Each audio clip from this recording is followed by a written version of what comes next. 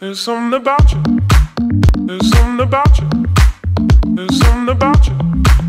There's something about you. Frozen custard is its own frozen dessert segment.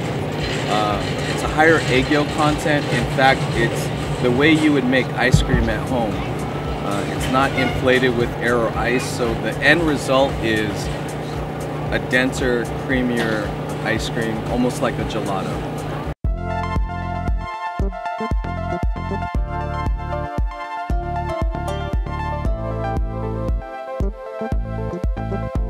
Frozen Kuhsterd started out of my love for food and my 9 to 5 job that went away because it was moved to Texas.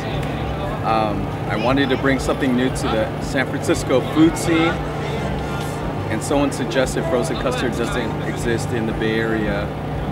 So I took a trip out to St. Louis, took a class out there, bought a machine, this is what frozen custard is today. Another popular item on our menu is the Napa style sundae. It's a layer of burnt caramel.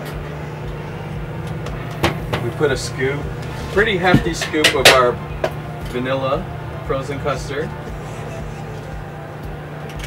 And then we top it off with extra virgin olive oil. Finished with Himalayan pink salt. Perfect combination of savory and sweet.